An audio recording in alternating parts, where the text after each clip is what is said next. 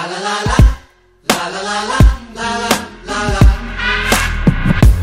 I don't wanna fight you. You gotta know that I meant it when I said that I liked you. Or maybe just the idea.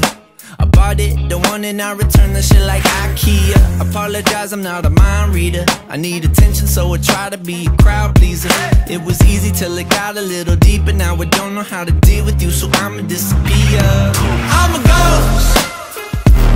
me now you don't